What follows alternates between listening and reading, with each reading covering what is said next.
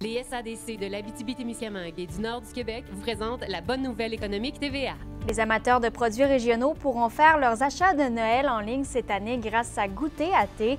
Vous trouverez plus de 300 produits gourmands grâce à la participation de 40 producteurs agroalimentaires de l'Abitibi-Témiscamingue. Visitez le www.goûterat.com entre le 10 et le 29 novembre pour faire vos achats. Les SADC, partenaires de l'économie de la région.